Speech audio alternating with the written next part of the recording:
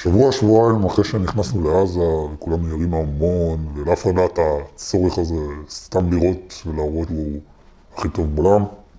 החבר שלנו לפלוגה נהרג, ואני חושב שזה היה בבירור שישי בצהריים. אנחנו, הכוח שלי, שזה מחלקת טנקים, היה שניים שלושה טנקים באותה עת, היינו בכלל מנותקים משאר הפלוגה, לא קשורים אליהם לא פיזית ולא משימתית, היינו עם כוח הנדסה במשהו אחר. והשמועות התחילו לזרום אלינו, התחילו להגיד שחבר'ה נפצעו, חבר'ה אולי נהרגו, פצועים קשה. והתחיל המשחק הזה של מה קרה, מי יודע, ואין לנו שום דרך להשיג את זה.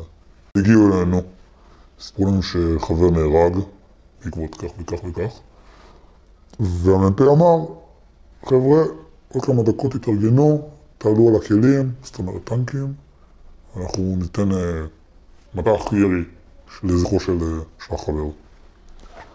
זוכר שעד שהוא נסע, בינתיים המחלקה עמדה במין מעגל דומם כזה, אנשים בכו, אנשים לא בכו, אנשים שברו גם עם הנשקים שלהם כמה חלונות באזור.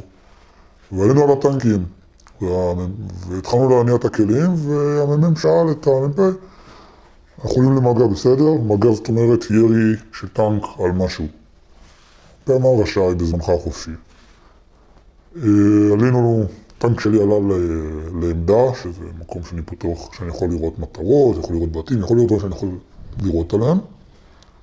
והמ"ם שלי שאל, סליחה, המ"ם שלי אמר, טוב חבר'ה, אנחנו נראה עכשיו אה, לזכרו של החבר.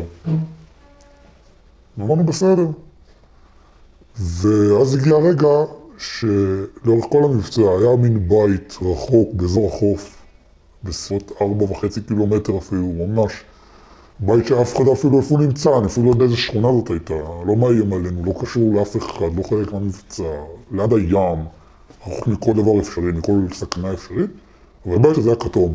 והכתום הזה שיגע אותי בעיניים, אני תותחן בטנק, אני שולט על כל המערכות נשק, לי כוונת, ואני בעצם הבן אדם שיורה ורואה כל דבר שקורה, וכל השבוע, שבועיים, הכתום הזה שיגע אותי בעין.